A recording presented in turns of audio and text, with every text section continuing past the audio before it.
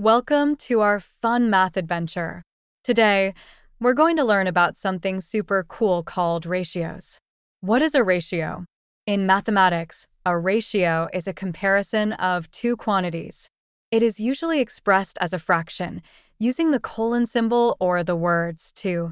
Ratios show how one quantity is related to another. For example, imagine you have a bowl with two apples and three oranges. The ratio of apples to oranges is 2 to 3. We write it like this 2 colon 3. Easy, right? Let's break it down. Ratios compare two numbers. If you have four green marbles and six yellow marbles, the ratio of green to yellow is 4 to 6. As mentioned before, you can write the ratio of green marbles to yellow marbles a few different ways, using the word to, using a colon, and as a fraction. All of these mean the same thing. For every four green marbles, there are six yellow marbles. Sometimes, we can make ratios simpler by dividing both numbers by the same number. Let's take the previous example of four green marbles and six yellow marbles. We know that the ratio we get is 4 colon 6, or 4 over 6. As a result, if we divide 4 and 6 by 2, we get 2 and 3. So, the simplified ratio is 2 to 3. It's just like simplifying fractions. Let's try another example. If there are 3 red candy and 5 blue candy in a bag, the ratio of red candy to blue candy can be written as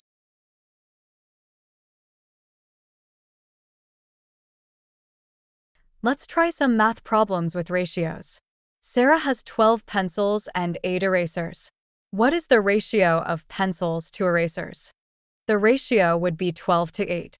But can this ratio be simplified? Yes.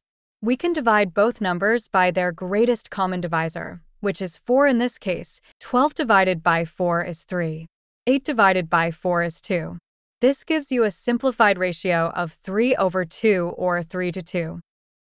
Let's try another maths problem. In a class, there are 5 boys and 3 girls. What is the ratio of boys to girls? The ratio is 5 to 3. So, for every 5 boys, there are 3 girls. Similarly, if the question asked for a ratio of girls to boys, you would write the ratio as 3 to 5. So, for every 3 girls, there are 5 boys. Here are some fun ratio activities you can do either at home or school. Fruit salad ratio. Grab some fruits and make a fruit salad. Count how many pieces of each fruit you have and write down the ratios. For example, if you have 5 strawberries and 10 grapes, the ratio of strawberries to grapes is 510. Can you simplify it? Draw and color ratios. Draw a picture with different colored shapes. Maybe you draw three red circles and six green rectangles. The ratio of red circles to green rectangles is 3 to 6. Can you simplify it? Let's recap. Ratios show the relationship between two quantities. You can write ratios using to, a colon, or a fraction. Simplifying ratios makes them easier to understand. That's it for our ratio adventure today. Remember, ratios are all about comparing things and having fun with numbers. Keep practicing, and you'll be a ratio master in no time.